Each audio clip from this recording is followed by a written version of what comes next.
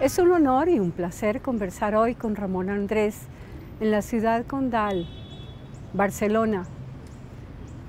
El oyente infinito es, por ejemplo, uno de sus maravillosos textos sobre literatura y música, el pasado y el presente y también, ¿por qué no?, el futuro de una de las formas eh, de pensamiento humano más emocionantes, más estéticas, más bellas, la música.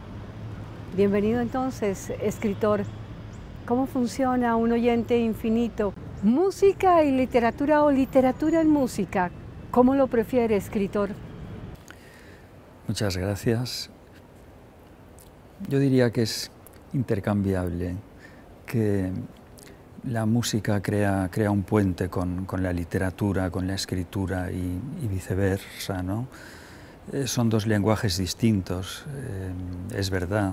Yo siempre digo que la música es un lenguaje paralelo eh, del mundo, con sus códigos, con sus eh, significados.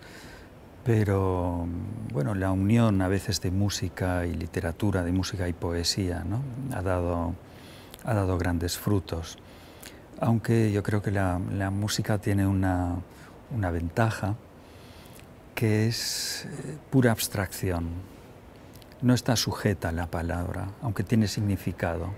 Es pura abstracción y por lo tanto deja el, campo, el terreno muy, muy abierto para, que se explaye, para que se expanda la, inteligencia y la imaginación del oyente no se circunscribe a unas palabras. Espacio y tiempo en literatura evidentemente son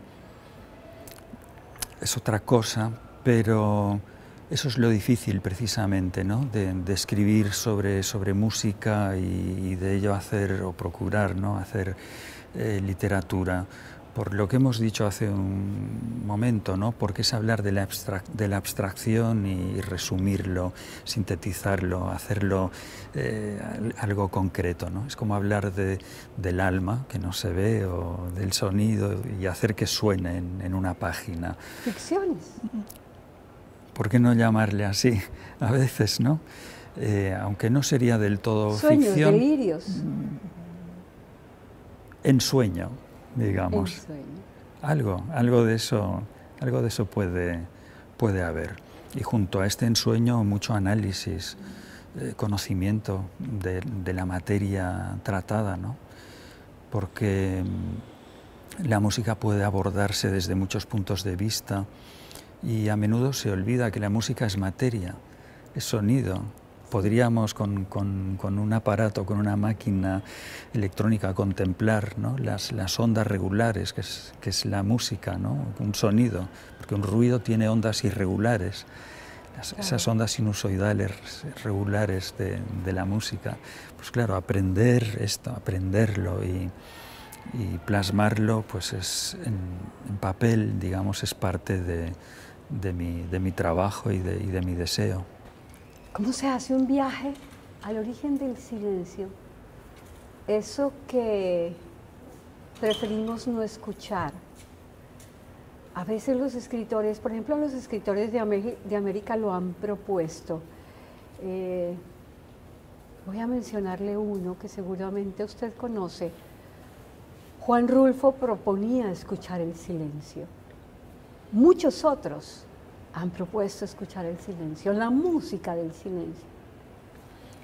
Es que el silencio es una propuesta extraordinaria y nos dice muchas cosas. El silencio nos está informando continuamente de cosas, del mismo modo que no es visible todo lo que está.